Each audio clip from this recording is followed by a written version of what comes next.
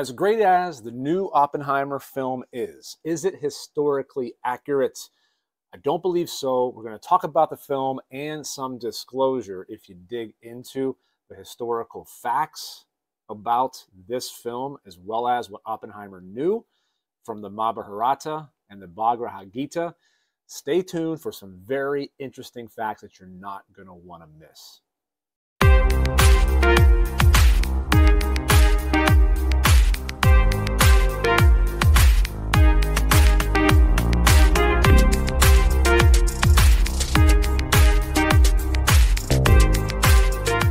What is going on, everybody? Ken here. Welcome to Ungraduated Media. This is the show, your show, that is not only about physical media, the collecting of movies, books, and music. It's about the learning and the perspective that we can gain from those three mediums that are physical media. And today I am thrilled to talk to you all about this. I have been holding out for Oppenheimer for some time. I wanted to see it in theaters, but did not have really the greatest opportunity to see it and didn't have a theater with IMAX capability close enough to view that 70 millimeter IMAX film. Now, I heard that it was actually pretty cool to experience, but man, I tell you what, this 4K, the mastering that was done and how Christopher Nolan oversaw it to make sure he brought the best experience home it's been so remarkable seeing the response that has been given with this film. Physical media selling out everywhere. This is the Icon edition.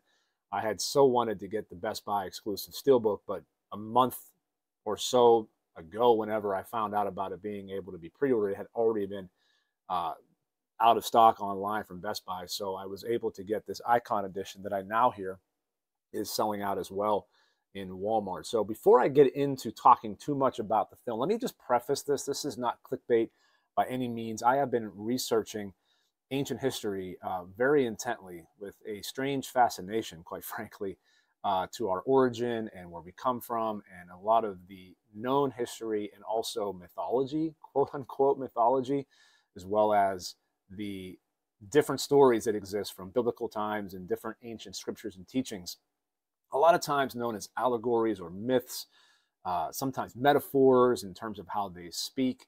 Well, here are some just straight up facts for you. Of course, in the film, it is discussed, Oppenheimer, of course, being quoted that he is now, uh, he is death, destroyer of worlds. I am become death, destroyer of worlds, is the famous quote. But what's not often talked about is he was interviewed afterwards about the Trinity bomb. And if it had been the first of its kind. And he says, quote, yes, in modern times. What the hell did he mean by that in modern times? Well, stay tuned because we're going to get into depth around that conversation.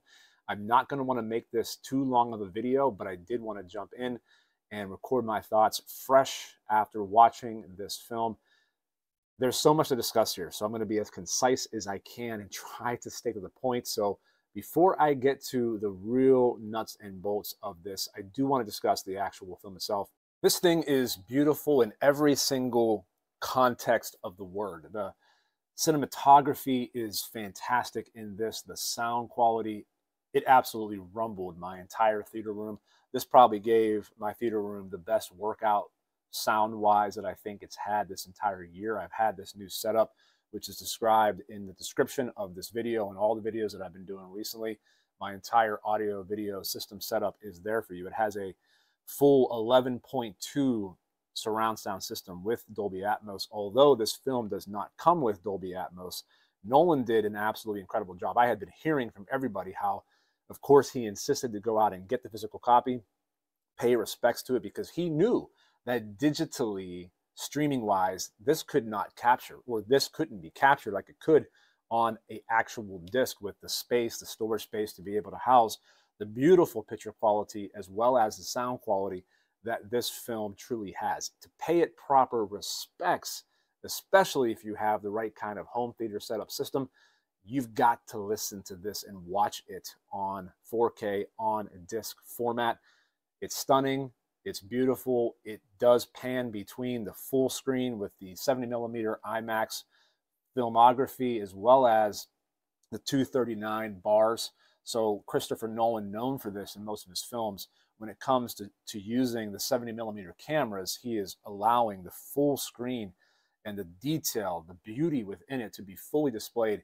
Then it'll cut to a 2.39 by 1 aspect ratio in which that you will get more drawn into the conversation points as well as the actual more dialogue aspects of the film. But man, gorgeous, gorgeous film. I'll talk about the packaging here. Uh, I think by now probably a lot of you have seen the Icon edition, but I will go ahead and give it a quick reveal. It's, as you can tell probably, it's a little wider than what a lot of typical 4K or Blu-ray cases are, so it's going to fit kind of strange on a shelf. It's also uh, a lot thinner. It's, it's just got a very thin component to the spine. Here's a look at the back of this, special features. I did not watch any special features yet. Uh, but this does have a slipcase on it, and then the Icon Edition. Uh, this is the first Icon Edition that I've ever purchased. Has this magnetic clasp that kind of holds this together. So that pops open. If you can hear this, how it kind of clicks together. But uh, beautiful artwork on the interior of this. Does have a digital code, which I probably will never use. But this thing opens up to reveal what is the not press conference, but uh, where Oppenheimer is being deposed, essentially, and questioned before Congress, is what I perceive this to be. And then as you flip this around, you got some more art. You have the main cover as well as the back and some more photography that kind of winds out. And as most will tell you, as as cool as this is, the biggest problem with it, I think, is that the discs are housed inside of these uh, cardboard cases or sleeves, if you will. So it leaves the possibility of the disc to be scratched is my only complaint. But beautiful edition. I'm not going to pull out the actual CD or sorry discs because uh, I don't want to mess around with with that right now. But that's really there's not much else to say about the film. It's a fantastic film, beautifully done. Sound quality, I could not give it more of a resounding five star, even for that 5.1 track that it has. It's truly remarkably done because there was times where it felt like there was audio spatially all around you. I'm, there was even a few times when I found myself looking up at my Atmos to make sure there wasn't sound coming out of the Atmos that's how well done this film is from an audio mix standpoint. Damn, whoever mastered this, I know Nolan helped oversee it and he put a lot of time and effort into it. From the very get go, this thing rumbles. And it's not only because of the bomb blast, right? There's the famous part of the film about midway through when they actually test the Trinity bomb. And of course, it's magnificent in its overall glory of of the uh, mushroom cloud, fiery orangish red. And it goes for a minute or so, and then you hear the rumble, which is, of course, just amazing in itself to know that light travels so much faster than sound. So you're seeing this billowing effect, and it takes forever before the sound and the wind to actually hit. But besides that, with all the the Newtonian physics happening, and they cut to a lot of different scenes showing just the physical elements of metaphysics and quantum mechanics and the study of the, the, the atoms and the nuclear fission that takes place, there's a lot of that vibration and movement in the film, which I thought was genius by Nolan. Uh, there's parts of the film whenever Oppenheimer is being interrogated or questioned, and you can see behind him the vibration of it's kind of trying to emulate his tenseness in the moment or the tenseness of the moment and there's rumbling of bass, and it doesn't sound muddy. It sounds, uh, if your sound system's actually dialed in, and I'm not saying mine's the best, I do have uh, a Dirac uh, dialed in system. So I use Dirac Live, and I've tried Audacity and different um, sound equalizer systems or sound enhancement systems uh, to try to get my theater sound as dialed in as it can possibly be. And the Dirac Live it seems to be the best for me. So with two subwoofers in the front and I have sound shakers in my theater seats, I can assure you I was getting a massage most of this film but it sounded great and it looks great. So that's that part. And now I want to dive into some of the perspective that I'll try to be as concise with as I can that I think need to be mentioned about this film. When I went into this film, what I was so hoping that I would find would be the the digging into the Bhagavad Gita, not just the study that Oppenheimer was obviously infatuated with. And it's not surprising he was infatuated with the Bhagavad Gita because of there's a lot of mythology, supposed mythology in this book that might actually be more than just that around explosions and war and technology, things that I'm sure as he was studying, he was uncovering and questioning. So much like the Bible or any other ancient text, I think the mistake that many people in society today make is that it's just it's folklore or mythology, it's exaggerated stories, but you got to realize that this stuff was documented by people of the time in how they recollect and kept track of historical context. And just because it's the modern era and we decide to make Western philosophy the standard, that there's no way to say all Eastern philosophy is just bogus and it's just mythology.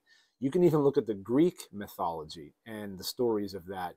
And when they talk about gods, okay, this is where my mind had to really expand itself.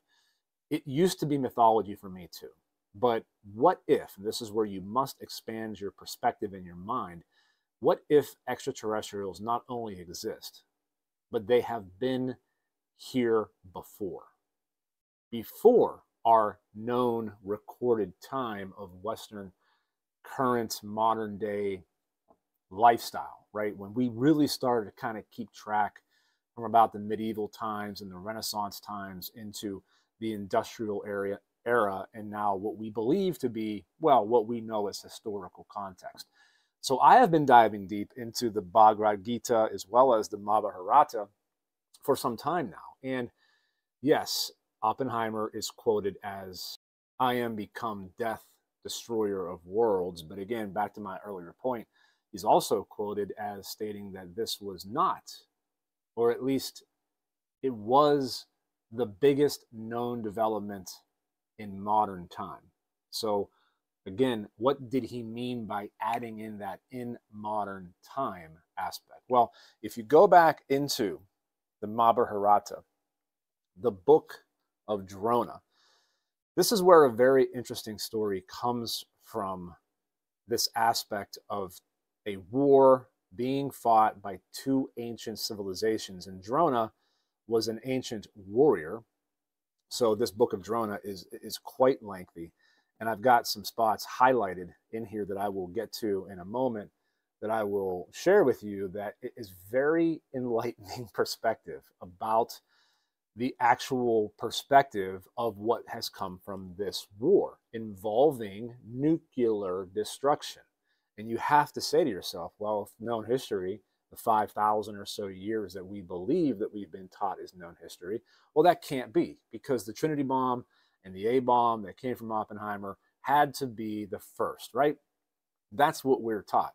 When you go back in the ancient Sanskrit texts and you read about this ancient war, you can find some details and some actual present day modern proof to the testing that science has done that some nuclear explosion did indeed occur, or at least is speculated to have occurred. It's hard to say did indeed because do I know for sure? Of course not. Scientists are testing the soil and have tested the soil and have found very high traces of radioactive, uh, radioactive compounds that has vitrified glass essentially. So it's turned a lot of the minerals and uh, the ore into a very fine glass that only happens with very high rates of temperature that occur at a very quick uh, speed. They have found skeletons, family skeletons, in what they describe in postures of flight, meaning that they were fleeing. And all of this is being unearthed uh, in this this this this ancient location uh, that's somewhere in the Middle East. I'll have to pull up the exact details of where this actually is occurring, but there's also a crater, a large crater that is also visible from Google Earth that shows this location on the map that has no meteor, no asteroid impact. It's just a massive crater that has this higher level of radioactivity that's been discovered within the soil. So all of this is being added up to perhaps there wasn't necessarily just mythology here or just ancient stories. This might have been documented evidence of some technology that existed, be it from an extraterrestrial race, be it from just we were more advanced than what we realized. And again, modern history, just what we are told 5,000 years to now. Well, what if we destroyed ourselves? What if we had this technology at some point in time and it wasn't from extraterrestrials. We were just a more advanced society. And through a war, perhaps nuclear war, we as humankind destroyed ourselves and life started over. Who knows? Who's to say? But that's for you to discover and decide for yourself. But the fact of the matter is that it wasn't called out in the film to the level that I think it probably should have been. So let me get into some more depth, some more detail for for all of you who care to know in regards to what I'm discussing. In this actual book of Drona, which again is just a part of the Mahabharata, this is a very thick book. It's just one book of the Mahabharata. I'm going to read to you. Yes, I know it sucks to kind of read on YouTube, but I want to get this actually correct. So I am going to actually read this. So it says, uh, this is a description of what the actual war was like. So just check this out. There was what was weapons, magical weapons that were described as Astra, A S T R A, that could destroy entire armies, causing crowds of warriors with steeds and elephants and weapons to be carried away as if they were dry leaves of trees. A different weapon was described as producing vertical, billowing smoke clouds that opened consecutively like giant umbrellas, reminiscent of the massive rising mushroom clouds produced by the Trinity test. It goes on to state that among the most destructive of the Astra was the Brahmastra, created by the god Brahma, B R A H M A, a single projectile charged with all the power in the universe. It was an unknown weapon, an iron thunderbolt, a gigantic messenger of death, which reduced to ashes an entire race. There was neither a counterattack nor a defense that could stop it. And this is right out of the book of Drona. The weapon produced an incandescent column of smoke and flame as bright as 10,000 suns that rose in all its splendor. After, corpses were so burned as to be unrecognizable. Their hair and nails fell out. Pottery broke without any apparent cause, and birds turned white. After a few hours, all foodstuffs were infected. Any target hit by the Brahmastra would be utterly destroyed. Land would become barren and lifeless. Rainfall would cease, and infertility in humans and animals would follow for eons of time. This was used after an 18 day battle of the Kurukshetra, K U R U K S H E T R A. So, this was a battle fought between the Kurukshetra and the Pandavas is what they are known as, the P A N D A V A S. The Pandavas vanquished their enemy, the Kauravas, with de- this devastating weapon. But the very few surviving Pandavas discovered that there was nothing left to occupy and no one left to rule. The Brahmastra had destroyed the entire Kauravas society and turned the region, which is present day Rajasthan to desert. The war also marked in the Vedic system the beginning of the current Kali Yuga age. So, again, is this mythology that comes from the Mahabharata, the book of Drona? Is it allegory? You be the judge of that yourself. But I am just telling you this when it comes to the known history, and you do some research into historical context, if you believe that modern civilization, what we are taught in Western worlds today, that modern civilization has only been around for 5,000 years, personally, I think you're being a little bit naive. But think that the earth has been here for 4 billion or so years, that modern history, where we think we are the most advanced society to face and walk and grace this planet. And we've only existed in this modern way for about 5,000 years. To me, it doesn't really add up. So when you go back and you find things like the Mahabharata, the, Bhagavad, Gita, uh, all the ancient scrolls that are now the Dead Sea Scrolls and the ancient Sumerian texts that are coming forward, it's challenging a lot of the current narrative and it's receiving a ton of pushback from notable religious societies who are trying to deface this and say that it can't possibly be true. Well, when it comes to the fact that when the human race is left with abrupt, in your face type of content, you can do one of two things. You can try to embrace it and discover and lean more into it, or you can put in, you can put your head in the sand because you're fearful of what you've been taught, what you've been indoctrinated with, and choose to ignore it, which is what a lot of society does. And as much as I love Christopher Nolan, as much as I believe that his work is incredible, I know that this was based off of a book.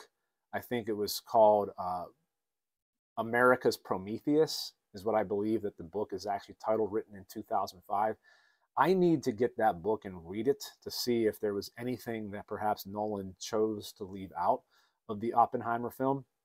There's a couple other of, of really interesting points too about this mystical battle that took place in the Mahabharata, the book of Drona. I find this rather fascinating as well because it has to do with pyramid technology, which has a ton of questions around it. What were the pyramids? What were they used for?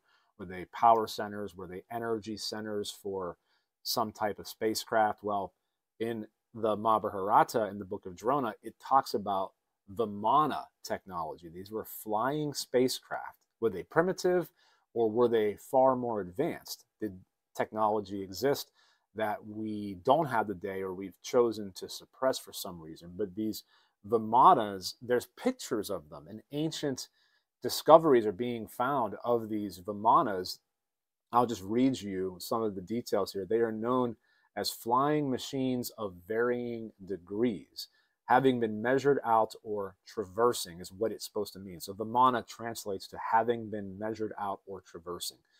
And these were machines piloted by the gods, is what this book states. Again, think about this for a second.